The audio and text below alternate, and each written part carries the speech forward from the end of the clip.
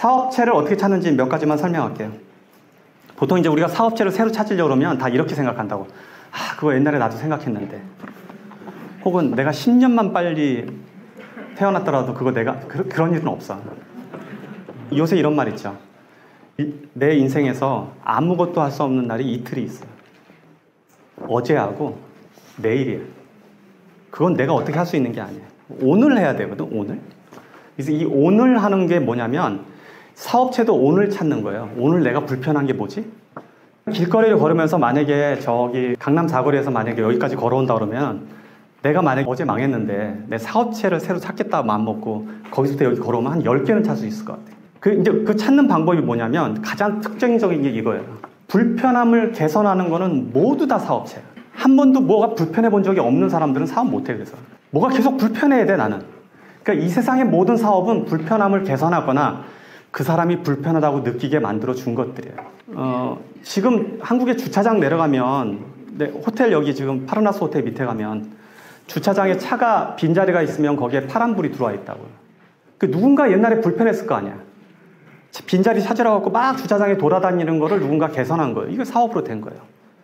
요새 그 버스 타고 타요? 나는 버스 가끔 타는데 버스가 이렇게 서면 전에는 내가 한국에 어렸을 때 한국에서 버스 탈 때는 그 버스가 몇 번 버스인지를 모르니까 앞뒤로 뛰어다녔단 말이에요. 그 버스가 서면 뒤로 또 달려갔다가 막 왔다 갔는데 지금은 버스가 오면 문이 이렇게 열리면 거기에 이렇게 툭 튀어나오잖아요. 몇 번인지 안다고. 그러니까 도로까지 안 뛰어나가도 되잖아. 정말 사소한 거지만 누군가는 불편했을 거라고. 그러니까 이렇게 내가 무언가를 상황에서 불편한 게 있으면 이걸 개선하는 건 다 사업이 돼버려요. 그러니까 여러분이 다니면서 아, 이건 나는 불편했어. 바꾸면 다 사업이야. 사업 생각보다 쉬워요. 그래서 여기서 다니면 불편한 게 얼마나 많은데 그거 다 적으면 사업이라는 거예요. 그 다음에 또 하나 이미 한 번 망한 사업. 망했다고 안 하지. 어떤 사람 했는데. 근데 망한 이유는 100개도 넘거든. 그 사람이 불성실해서 그럴 수도 있고, 뭐 자본이 모자랄 수도 있고, 위치가 안 좋을 수도 있고, 개인적인 건강 문제일 수도 있고, 그 아이디어가 문제가 아니라 그 사람이 문제일 가능성이 더 많아요. 보통의 사업이 망하는 경우에는. 그러니까 다른 사람이 망한 사업도 열심히 잘 살펴봐야 돼요. 내가 할 수 있는 거. 나는 주로 그렇게 사업을 했어요. 다른 사람이 망한 사업을 찾아서 그거를 내가 더 잘할 수 있는 걸 찾은 다음에 사업으로 발전시킨 사람이에요. 나는 독특한 아이디어보다는 남이 했던 아이디어를 개선하는 거에 더 능했기 때문에. 그 이건 다 사업거리예요. 그 다음에 아까 박람회장 얘기했는데 박람회 자체도 굉장히 좋은 사업들이 저 안에 되게 많아요. 그 내가 이거 가끔 강의 때 쓰는데 지금도 전, 국제 전시회가 여기 되게 많아요. 나는 전시회를 내 사업에 관련해 있는 전시회만 가는 게 아니라 무작위로 아무데나 다 다녀. 무슨 의상 전시회도 가보고 가구 전시회도 가보고 조명 전시회도 가고 다 가요. 가서 그냥 다 들여다본다고요. 특히 여기서 이제 여기 있는 동안에 전시회가 계속 있으니까 나는 또 우리 지금 숙소가 어, 코엑스하고 멀지 않아서 전시회 있을 때마다 가보거든요. 가보면 재밌는 게 여러분들 같은 경우에 사업을 이렇게 찾으면 돼. 거기에 국제라고 붙은 사업은 다 외국에서 몇 명씩 와 있다고. 근데 작은 나라 혹은 작은 회사들이 국제란 타이틀로 거기에 쇼에 와 있는데 큰 자리 못 받고 구석 자리에 혼자 직원 하나 나오고 사장이 직접 나와서 뭔가 팔려고 나오는 사람이 있어. 이런 사람들 찾아가서 그 제품이 한국에 먹힐 만한 제품이면 판권 받아오면 돼. 그 판, 판권 팔려고 여기 온 사람들이에요.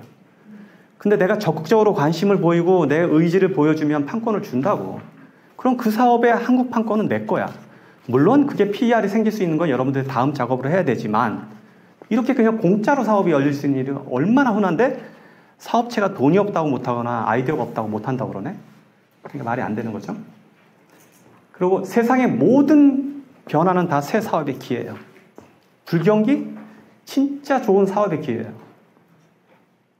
세상에서 가장 큰 변화가 뭐예요? 전쟁이에요. 그래서 어떤 사람은 전쟁 통해서 엄청난 돈을 벌거나 엄청난 기회를 찾는다고. 그러니까 모든 세상의 모든 변혁은 전부 다 사업 기회로 봐야 돼요. 이게 변혁이 일어나면 이익을 보는 사람들은 어디에도 항상 있단 말이에요. 그것이 코로나든 뭐든 상관없어요. 우리 지금 제자들 중에서도 코로나가 일어나니까 반으로 딱 갈리더라고. 코로나 덕분에 돈을 버는 사람이 있고 코로나 때문에 망한 사람이 있어요.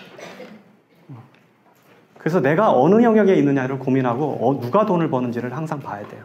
그래서 변혁 자체가 돈이기 때문에 변혁을 즐겨야 돼요. 우리가 아무것도 없는 사람들은 변혁 있을 때 변혁이라는 거는 큰 움직이지 않는 돌이 그날 움직이는 거거든. 그날 지진이 일어난 거니까 그때 틈새가 벌려진단 말이에요. 그때 지렛대를 꽂아야지 평소에는 지렛대 꽂아봤자 움직이지도 않거든. 그러니까 변혁이 생기고 불경기가 생기고 뭐 환경이 변하고 정치가 기반이 바뀌고 국제 정세가 힘들어지고 이거 다 돈에 관련된 일이니까 어, 그 자체가 돈이라고 인식하고 그때 기회를 보고 지금 아까 아까 그 대표도 이게 박람회 사업이 2년 동안 정지되면 뭘 어떻게 먹고 살아? 그럼 얼마나 많은 박람회 기획자들이 망했겠어요. 근데 그거를 기회를 잡아서 불편함을 개선하고 되게 멋진 사업으로 이걸 바꿔낸 거예요. 이렇게 자, 이렇게 하는 게 원래 사업이에요. 자, 벌써 이강 끝났어요.